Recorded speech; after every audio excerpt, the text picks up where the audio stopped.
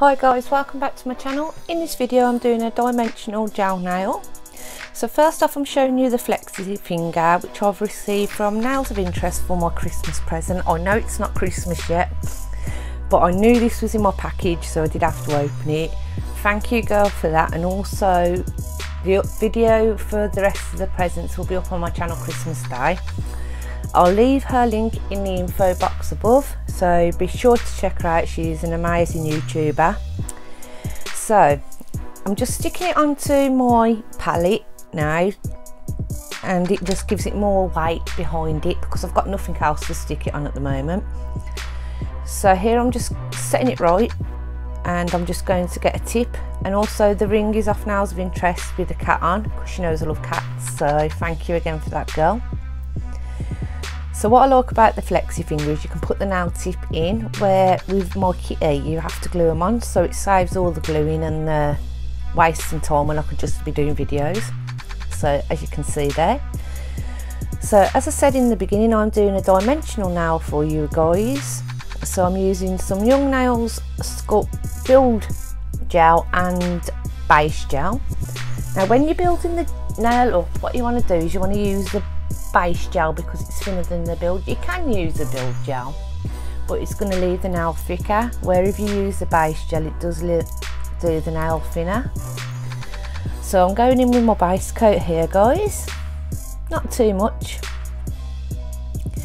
And with all, as always, you want to be careful not to touch the side walls of your nails and also your skin.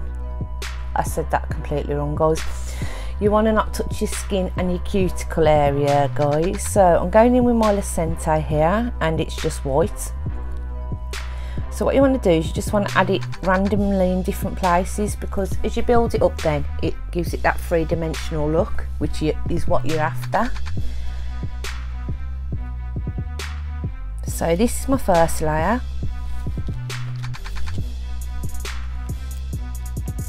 as you can see. Then I'm going I do go in and I'll cure that for 30 seconds no 60 seconds sorry in my LED lamp. Then I'll come back in and I'll do another layer over the top of that.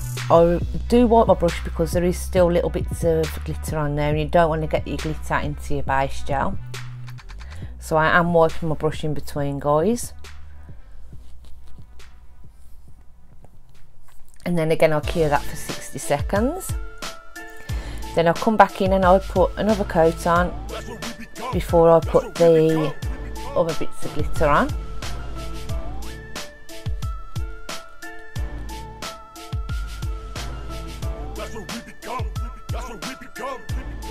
Also you want to make sure that your pots of gel are nowhere near when you're putting the glitter on because the glitter does tend to go everywhere. So I've cured that again in my lamp for 60 seconds. I'm going in again with my other layer and then I'll go in and I'll cure that again for 60 seconds.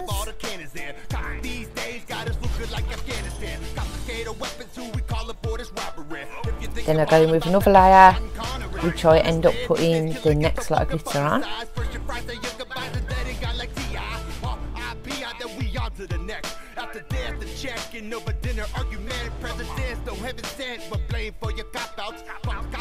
And this is Lecente's Unicorn. And the next one is Lecente's I'm Yours and this is like all like say tinsel but probably a different name but it does look nice so as you can see it's just little strands so I'll cure that again in my lamp for 60 seconds and then I'll go in and I'll put my last coat of base over. Just to lock all that in at the moment guys.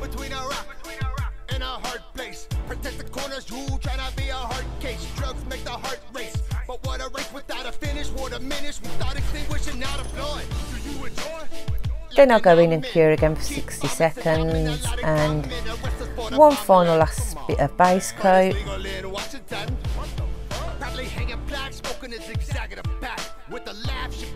And then I'm putting the mylar on top, which I just thought add some more dimension to the nail. Not a lot, but just a bit.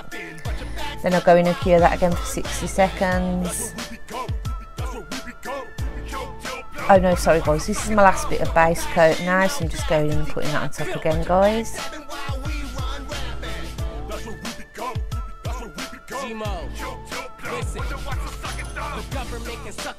And I cure that again for 60 seconds and then next I go in with the build gel. This is how it looks. Before I put the build gel on. So now I'm going in with Young Nails build gel and now I'm just building the nail as I normally would and just encapsulating everything in gel or oh, embedded as you normally would. I'm turning the nail upside down in between just to make sure I've got that nice arch on the nail. Making sure my side walls are all clear. and then I'll go in and I'll just drag a line down the nail. I'm sorry this bit's out of view of the camera guys.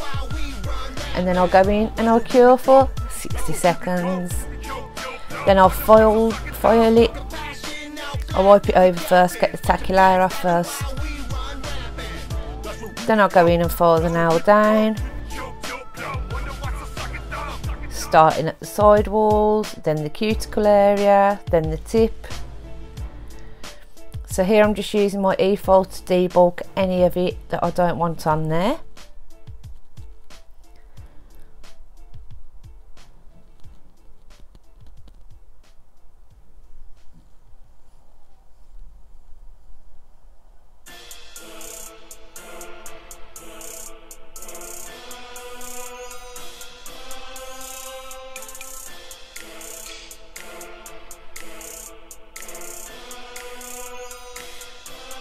Then I'll go in with Modelones top, No Wipe Top Gloss and you'll see this now come alive now guys. It's quite a lot of work to do but if you get your head down you can do it.